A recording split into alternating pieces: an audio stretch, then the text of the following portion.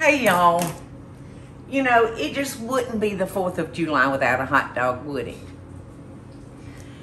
Everybody has their own way that they like their hot dog, and Lord have mercy, there's so many ways to do it. I remember when I was in high school, we had three hangouts.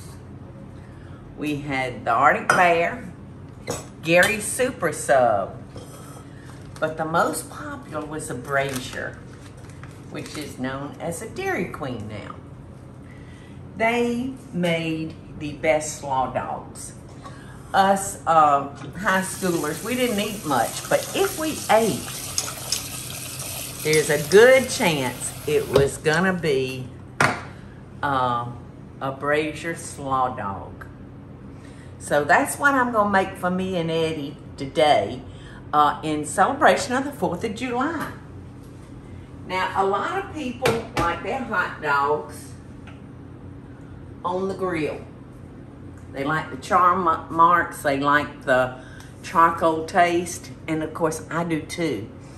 But I'm not gonna start a fire for four hot dogs.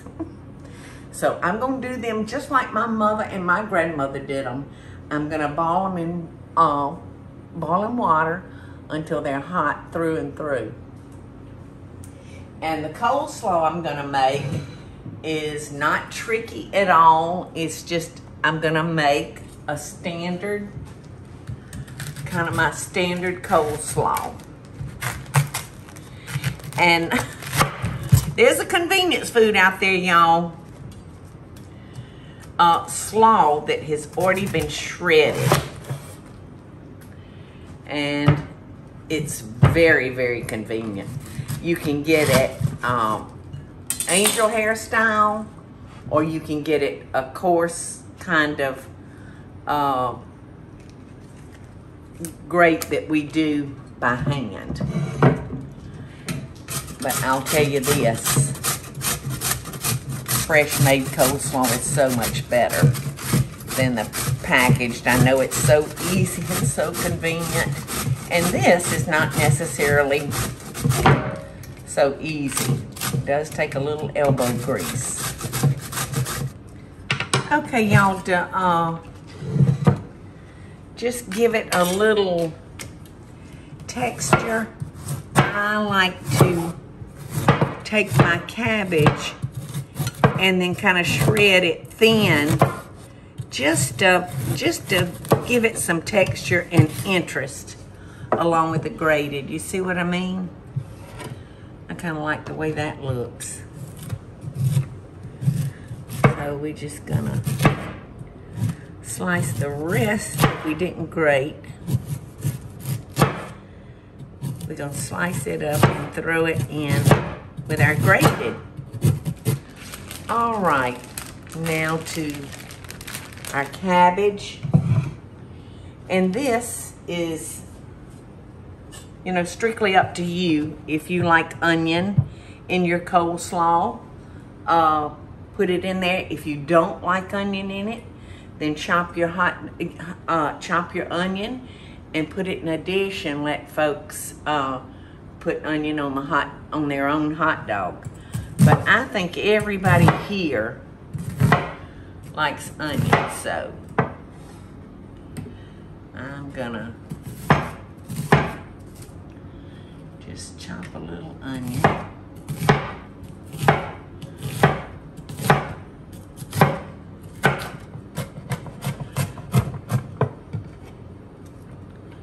To me, you just can't get too much onion on a hot dog. So, let's talk, Eddie, a little bit about the hot dog. I don't know how much uh, you know about the hot dog, but uh, it's been around a long, long, long time. In fact, uh, I read something that it was, went far as back as BC. So they've been around a long time, but they started out as a sausage dog. All right, so I'm gonna share with y'all how the term hot dog got its name. And supposedly, uh, some say the word was coined in 1991 at the New York uh, polo grounds on a cold April day, and vendors were were hawking their hot sausages, and they had them on a cart in in uh, hot water, and they would go through the crowds and they would shout, "They're red hot! Get your Dachshund sausages while they're red hot!"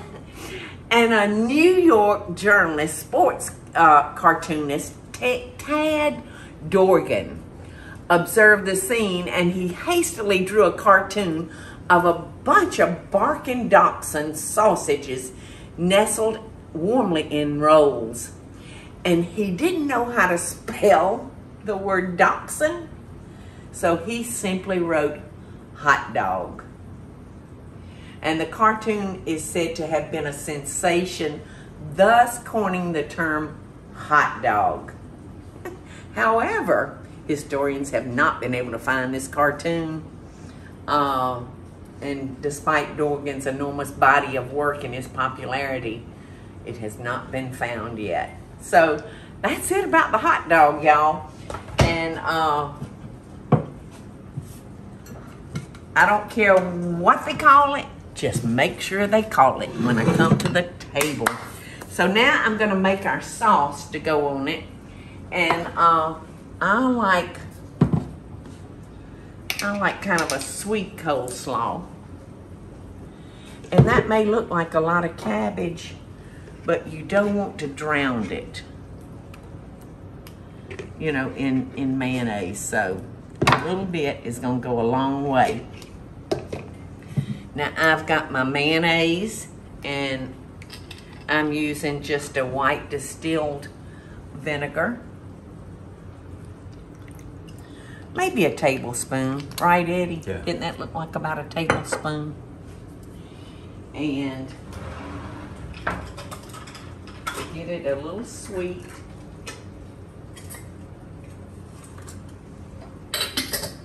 I'm gonna add about a tablespoon of sugar. And I'll just taste this alone uh, until I get it just like I like it.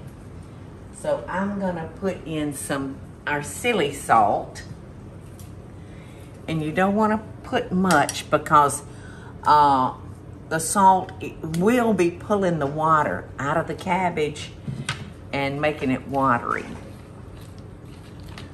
All right. So it's gonna take just a minute for the uh, mayonnaise and the vinegar to kind of melt the sugar, for lack of a better word. Mm. Right, let's see.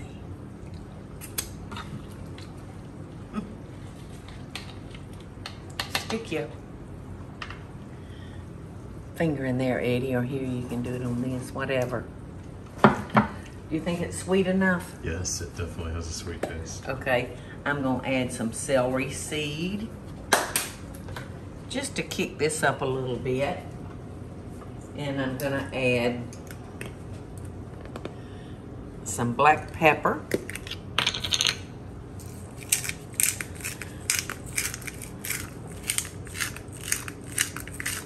This is kind of a slow way to get pepper, isn't it? okay.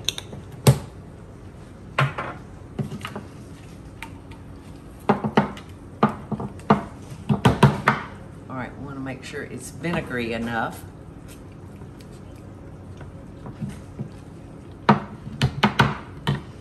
Okay. I was out of carrots, so I had to go next door and bar borrow some shredded cab carrots from Bobby and Cloud. So I do, I'm not a big carrot lover, but I do like them in my coleslaw. For a little bit of color. Okay, let me check on our hot dogs. Our hot dogs are boiling. I'm starting to swallow hard, Eddie. Mm-hmm. I'm getting hungry. Okay, so my grandmother Paul served her buns, her hamburger and hot dog buns, a little different from what my mother did. Grandmother would get a, a nice uh, pot, you know, that had a wide circumference. She would put her colander on top of that. You don't want the colander touching the water. And then she would put a dish rag and she would separate her hot dog buns and our hamburger buns and steam it over that hot boiling water.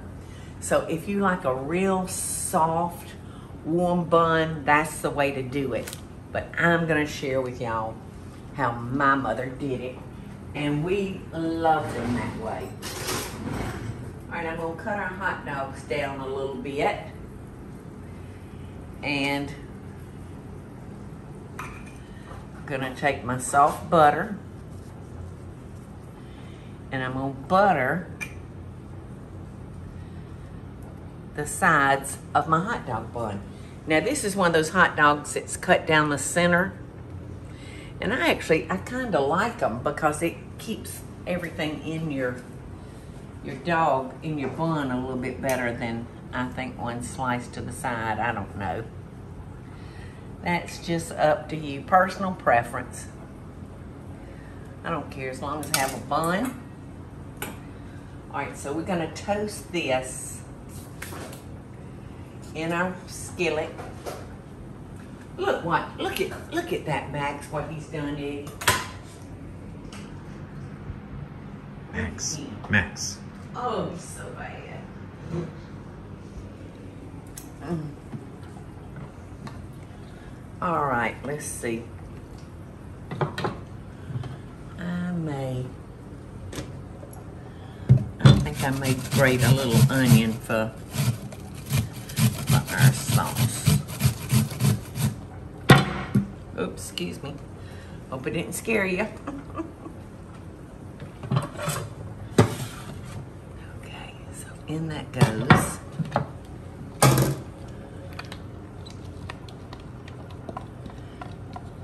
I have all different kind of cabbage, I mean coleslaw recipes, y'all. But for my hot dog, I like just a plain, plain old coleslaw. And it looks like I didn't mix up enough. But this does get wetter as it sits. So I'm just gonna take another little scoop of mayonnaise and that's all you have to do if you're a little short. Nothing tricky, no, nothing fancy about this coleslaw. Okay, so our coleslaw is ready. That was simple. Once you get it grated, it's not hard at all. So I've just turned our buns on. So I'm gonna toast those ni nicely on both sides. Now, uh, Aunt Peggy can't eat a hot dog without sauerkraut. Personally, me, I don't care for it. Uh, you can put mustard, ketchup, you know, I'm a mayonnaise freak.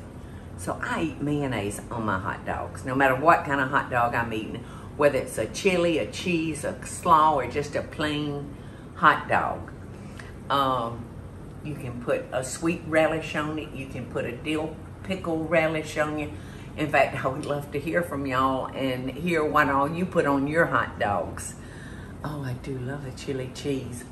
But for the 4th of July, we gonna do a hail to the Brazier in Albany, Georgia. A shout out, all of you kids that were at Albany High from the year 63 to 65, you know exactly what I'm talking about. At the break, you know, we didn't have, um, we didn't have access to, to music like all the folks nowadays do. So um, somebody would take their record player. And when I say record player, I mean a real record player with the vinyl uh, records. And we would find some electricity up there behind the, in the parking lot of the Brazier. And uh, one of the songs that I remember just blasting through the air was Hot Nuts, get them from your Peanut Man. I remember those boys playing that record. Uh, but those were some good old fun, fun days. You ready to eat, Eddie? And All right, for a sausage dog, I put mayonnaise, mustard, and coleslaw. I don't put anything else on it because I just like, just like the true uh, coleslaw taste that comes with a hot dog. All right, so I'm gonna get us out some chips, Eddie. Oh, these are crumbs. I'll have to use those on top of a casserole or something. And I think hot dogs scream for uh, potato chips, don't you? yes. All right, what do you want on your hot dog, Eddie? Uh, just just coleslaw. Just coleslaw, no mayonnaise, no mustard, no ketchup, no nothing. Yep. Okie doke, you wanna come over here and, uh, let everybody see how Mama Corrie got these buns ready for a hot dog? Okay, so we're almost there. I see some hot dogs waiting on a hot dog, Eddie. so, the, uh, the Brazier was certainly the place to get a great slaw dog. But we had a, a little hot dog restaurant in Albany that was, gosh, it was started before I was born, Eddie. And you know what I'm talking about. Jimmy's Hot Dogs. Um, when my brother Bubba would go home, he'd come back with a sack of Jimmy's Hot Dogs for me to put in the freezer. And Bubba and I have eaten a mini leftover um, Jimmy's hot dog that we pulled out of the freezer. So this is it. Our beautiful bun is nice and toasty warm. Okay, Eddie. Am I keeping you up, Eddie? he was just yawning, y'all. Is this hot dog gonna put you to sleep? It's a rainy afternoon. Oh, it is a beautiful rainy afternoon. Perfect. All right, so I'm just gonna put your coleslaw on there.